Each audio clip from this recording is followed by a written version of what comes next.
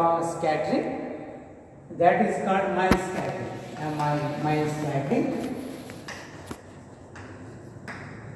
Where the size of the particles of the medium are bigger than the size of the wavelength. E is equal to h c by lambda is the energy of the incident light and it has got a wavelength lambda. If you see the size of this particle, it is more than the size of the wavelength of light.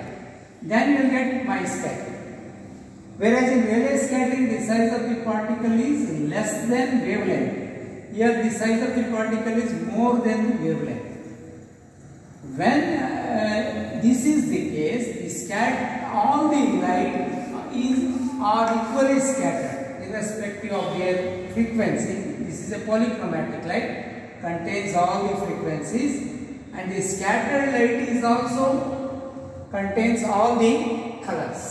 All are equally scattered.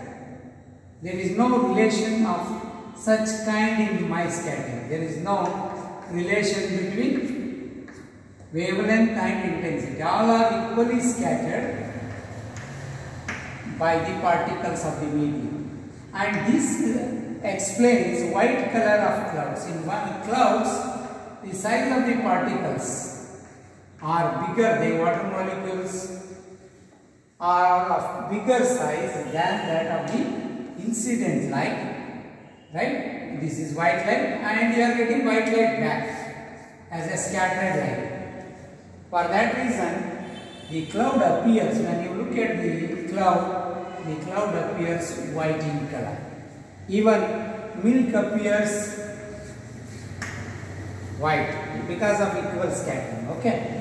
This is Mie scattering. Mie scattering explains white color of cloud.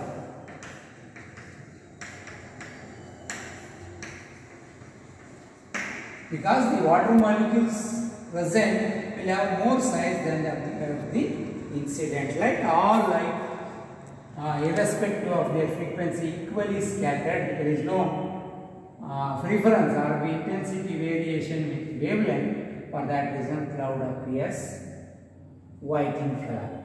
If a water uh, cloud contains more water droplets, dense water droplets, it will not absorb, it will not scatter, it will absorb all the light color. For that reason, it will get black color. Black color when uh, water, more water molecules present, there is a dense water molecule, it will not give out any light out. For that reason, you will get black color of clouds.